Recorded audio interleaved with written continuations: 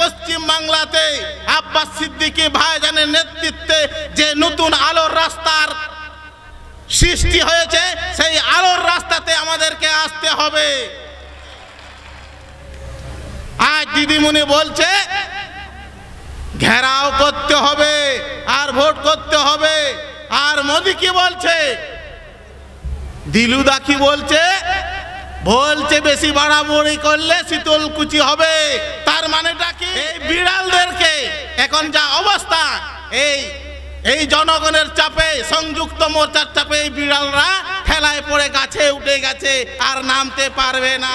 আর জঙ্গলমহল এলাকার কয়লা পাচার করেছে দিদিমণির বৌমার অ্যাকাউন্টে ভাইপোর বইয়ের অ্যাকাউন্টে একশো পঁয়ষট্টি কোটি টাকা ঢুকেছে।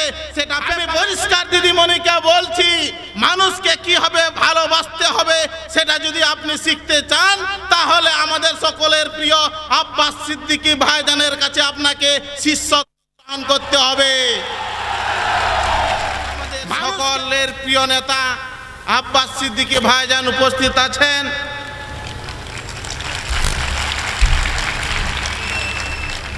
তো বন্ধুগণ দেখুন, আজ এই ভারতবর্ষ তথা পশ্চিমবাংলার অবস্থা খুবই শোচনীয়। আজ ভারতবর্ষে, এই পশ্চিমবাংলাতে তৃণমূল সরকার, ভারতবর্ষে বিজেপি সরকার। এরা বলছে, বিজেপি বলছে পশ্চিমবাংলাতে আমাকে ক্ষমতায় আনো, এনআরসি করব, মুসলমান তাড়াবো। আর দিদি বলছে মুসলমান ভাইরা, আমাকে ভোট দাও, মোদিকে রুখবো। তার মানেটা কি? এই তৃণমূল এবং বিজেপি, এই দুটি দলই হচ্ছে সাম্প্রদায়িক। এরা ভারতবর্ষকে টুকরা টুকরা করতে চায়। এদের কাছে কোনো পরিকল্পনা নেই, এদের মাথায় কিছু নেই। এরা শুধু বলছে, খেলা হবে।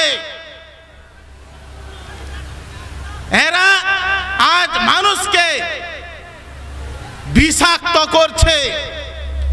এই তৃণমূল কি করেছে আপনাদের জন্য? এরা আমফানের চাল চুরি করেছে, ত্রিপল চুরি করেছে, গরু পাচার করেছে, আর জঙ্গলমহল এলাকার কয়লা পাচার করেছে।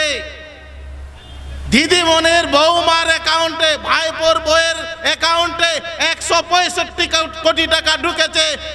পেপারে বলছে, আপনারা সবাই দেখেছেন। তার মানেটা কি?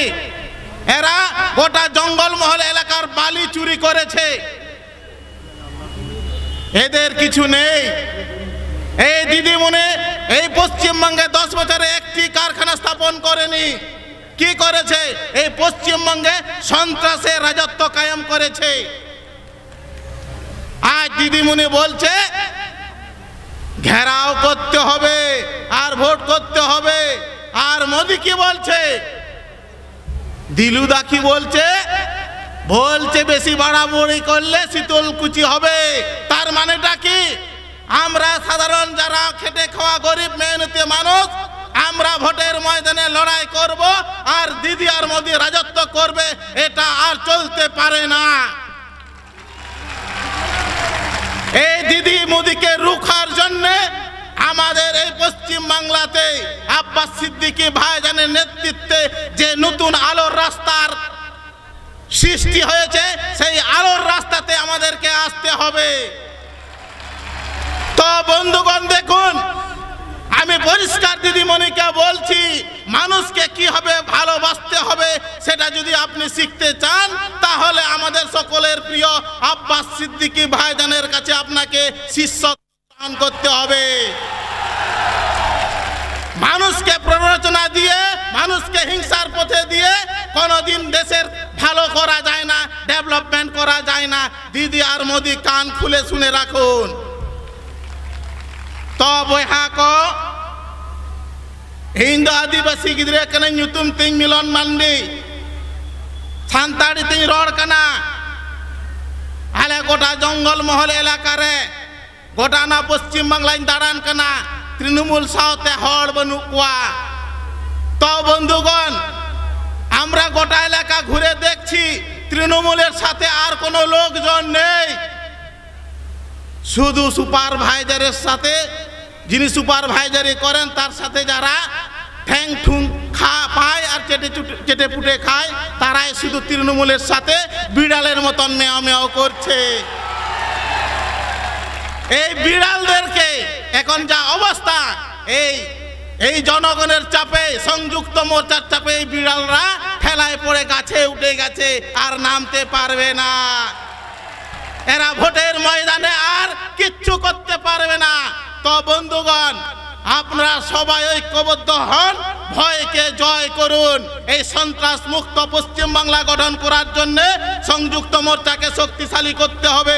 তার জন্য হাড়োয়া বিধানসভায় আমাদের সকলের প্রিয় কুতুব ভাইকে খাম চিহ্নে ভোট দেবেন। আমাদের হাতে কাস্তে আছে, ঘাস বেড়ে গেছে, আগাছা ঘাস কাটতে হবে আর গরুকে খাইয়ে দিতে হবে।